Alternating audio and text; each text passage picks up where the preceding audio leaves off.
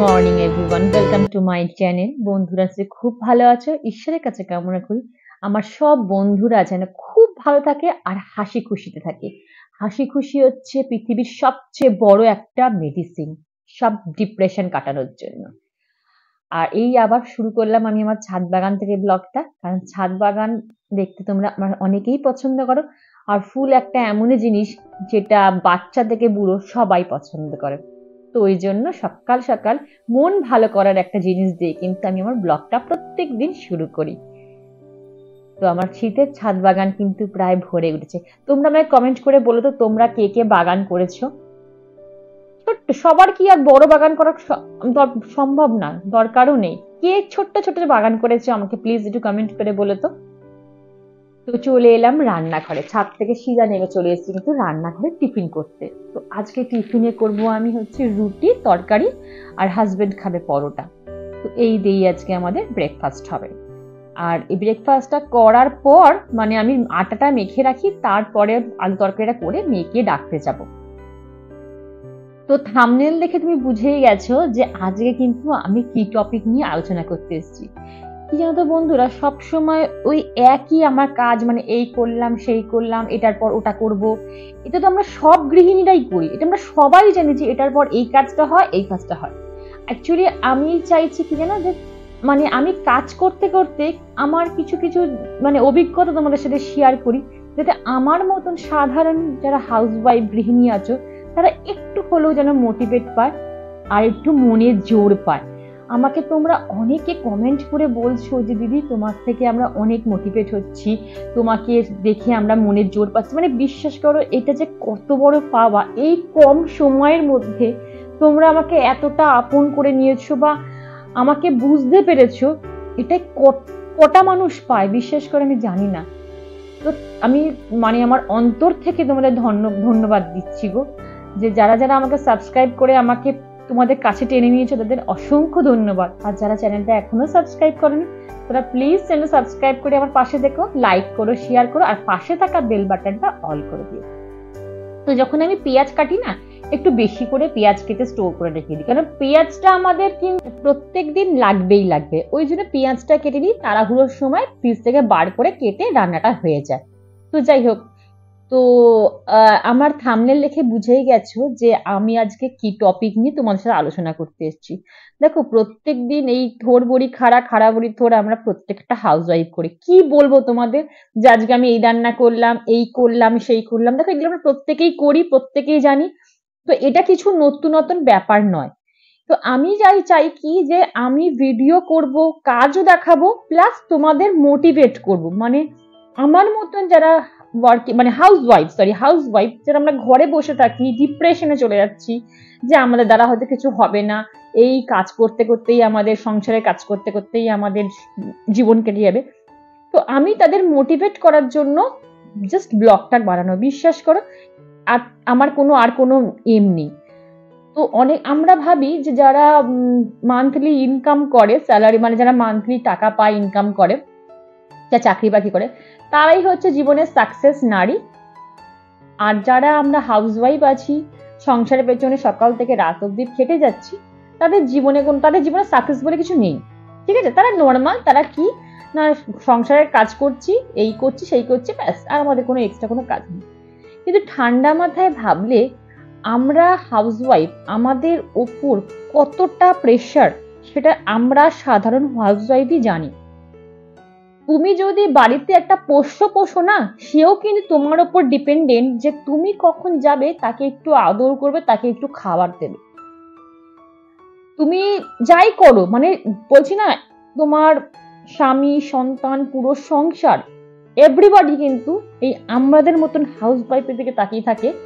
আমরা তাদের কখন মানে দেখো সকালবেলা ঘুম থেকে চোখ খোলো, খুলে আমাদের কি কাজ, কি আমরা হাজব্যান্ড কি টিফিন খাবে বাচ্চা কি টিফিন খাবে এই কি করবে? ও কি ডিনারে করবে? ও কি লাঞ্চ করবে? কার জামাটা প্রেস করা হলো না? হাজব্যান্ড অফিস যাবে, তার জামাটা প্রেস করে তার সামনে রাখা। মেয়ে, বাচ্চা সন্তান স্কুলে যাবে, তার টিফিনটা তার হাতের সামনে রাখা, তার ড্রেসটা তার সাথে সামনে রাখা এভরিথিং আমাদের একা করতে হয়। তো আমাদেরও কিন্তু মানে কি বলব, একটা লাইফ আছে যেটা আমরা ভুলে যাই। সেটা আমরা কেয়ার করি না। সংসারের কাজ করতে করতেই আমরা ভুলে যাই। কিন্তু সেটা করলে কিন্তু একদম হবে না। আমাদের, আমরা নিজেরা নিজেদের হ্যান্ডিক্যাপ বানাবো না।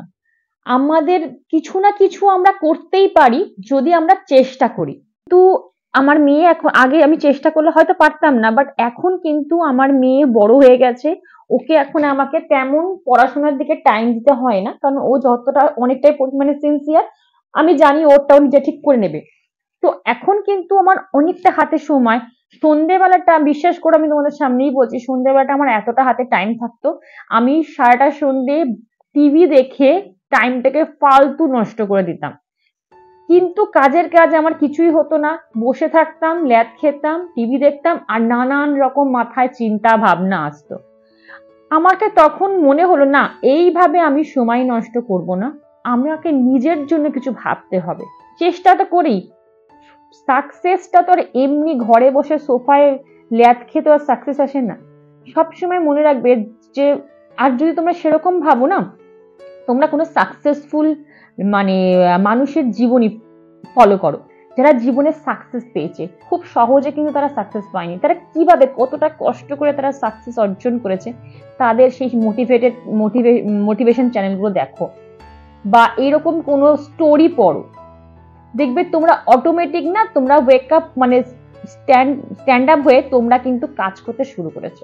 নিজেকে যদি তোমরা হ্যান্ডিক্যাপ মনে করো যে না, আমার দ্বারা কিছু হবে না, তাহলে তোমরা জীবনে কিচ্ছু করতে পারবে না। আমি এই বয়সে এসে কিন্তু ইউটিউব চ্যানেলটা খুলেছি। একটা নয়, দুটো খুলেছি। আর তুমি, তোমরা দেখো যে আমার কিন্তু কাজের পরিমাণটা খুব একটা নেহাত কম নয়। ঠিক আছে? আমার আমি কিন্তু সব কিছু মেনটেন করেও আমি টাইম টু টাইম আমি লিখে রাখি লিস্ট আউট করে রাখি যে কখন কোনটা করলে আমি এইটাও করতে পারব। আর এইটা করলে যে আমার সংসারে যাতে কোনো ক্ষতি না হয় সেটাও আমি দেখি। কারোর কোনো অসুবিধা করে আমি কিন্তু এই কাজটা করছি না। প্রত্যেকটা মানুষের যত্ন করে, প্রত্যেকটা মানুষকে হাতের ডাকা সব জিনিস দিয়ে আমি কিন্তু আমার এই চ্যানেলটা চালিয়ে যাচ্ছি। তো তোমরা কেন পারবে না? নিজের দুর্বলতাটা কাউকে বলবে না বা ওকে দেখাবে না। সেটা সলিউশনটা বার করার চেষ্টা করবে। ওই আমরা কি করি জানো? ওই যে আমিও যা করতাম আগে, একটু অশান্তি হলে ঘরে, সংসারে অনেকের সাথে অনেকের অশান্তি হয়, সংসারের লোকজন থাকলে থাকলে থাকলে হবেই। ব্যাস, ওই কোলবালিশে মুখ গুছে ঘণ্টার পর ঘণ্টা দিয়েই সময় কাটিয়ে দিলাম। আরে, তাতে কি হবে? কার কোনো কিচ্ছু যায় আসবে না। কারোর কিচ্ছু যায় আসবে না। শুধু সময়টা তোমার নষ্ট হবে। তো বন্ধু কান্নাকাটি বন্ধ করে, সময় নষ্ট করা বন্ধ করে, টিভি দেখা বন্ধ করে সোশ্যাল মিডিয়া থেকে দশ হাত দূরে গিয়ে নিজের কাজ করো। ভাবো যে নিজেকে কীভাবে টাইম দেওয়া যায়, নিজেকে কীভাবে ইমপ্রুভ করা যায়, কীভাবে আপডেট করা যায়। আপডেট মানে এই বলছি না যে তোমরা হট প্যান্ট পরে ঘুরে বেড়াও, সেটা আমি বলিনি। আপডেট মানে সময়ের সাথে চলো। যে সময়টা এখন তোমার সাথে আছে, সেই সময়টাকে ধরে রাখার চেষ্টা করো। সেই সময়টাকে ফালতু উড়িয়ে দেওয়ার চেষ্টা করো না। আর সব সময় কাজের মধ্যে থাকো। যদি তুমি সব সময় কাজের মধ্যে থাকো না, দেখবে তোমার মধ্যে কোনো বাজে চিন্তা অ্যারাইজই করবে না। তো অনেক তোমাদের জ্ঞান দিয়ে দিলাম, কিন্তু একটু মাথা খাটিয়ে যদি তোমরা আমার যে পয়েন্টগুলো লিস্ট আউট করতে পারো, তোমরা কিন্তু আখেরে তোমরা কিন্তু গেনার হবে। লুজার কিন্তু হবে না। তো দেখো আমি সব কিছু রান্না বান্না কমপ্লিট করে চলে এসেছি ছাদে গাছে জল দিতে। তো চ্যানেলটা যদি ভালো লাগে বা আমার দ্বারা তোমরা যদি এতটুকু মোটিভেট হও, তো প্লিজ চ্যানেলটা সাবস্ক্রাইব করে আমার পাশে দেখো। আর অবশ্যই কিন্তু কমেন্ট করতে একদম ভুলো না যে কেমন লাগছে বা তোমরা কীরকম জিনিস আমার কাছ থেকে দেখতে চাইছো। তোমরা অনেকেই বলছো, দিদি, তোমার এই মোটিভেটেড মানে তোমার এই কথা বলা খুব পজিটিভনেস আমাদের খুব ভালো লাগছে শুনতে। ওই জন্যই তোমাদের বলা।